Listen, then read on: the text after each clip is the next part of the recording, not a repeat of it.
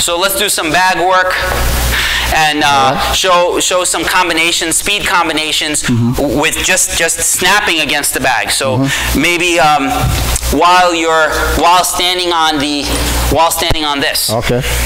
So let's work on this bag. here. Yep. Good. So notice how everything is everything is translatory.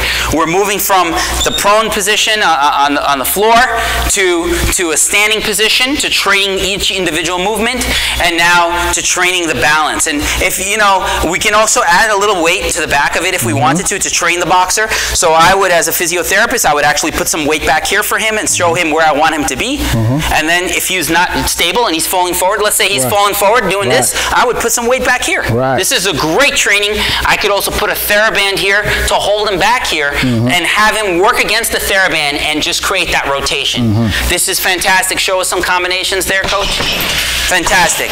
So now he's firing his glutes and I can actually load. See how he's falling to the left? I can push him to the right a little bit, force him. I can perturb him basically. Basically, if I do that, I put I put all his weight this way, or if I do that to him, I force him this way, so he's forced to go that way.